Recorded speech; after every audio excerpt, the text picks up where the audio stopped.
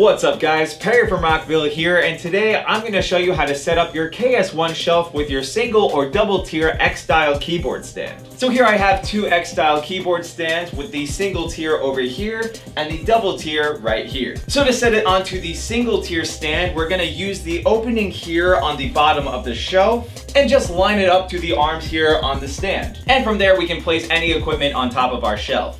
And you'll also notice these openings here which we can use for our cables if they fit. Now if your stand was a little wider like so, you could still fit the shelf onto the stand by using the opening here in the center as well as the openings on the sides. So for example, I can use the side opening for this arm here and then use the main section to place the rest of the shelf down. Now you can also fit the shelf onto your double tier keyboard stand, but we recommend placing the shelf onto the second tier so it's more sturdy. But the same principles apply for this type of setup, so you're gonna use the openings here on the back of the shelf, line it up to the arms of the second tier, place it down, and just like that, we've made a DJ table out of our two-tier keyboard stand.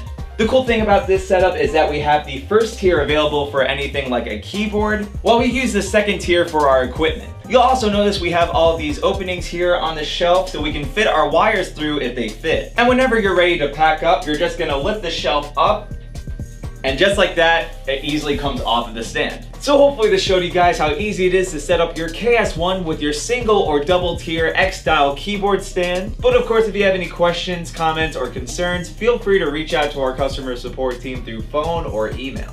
As always, I'm Perry from Rockville, and we'll see you guys next time.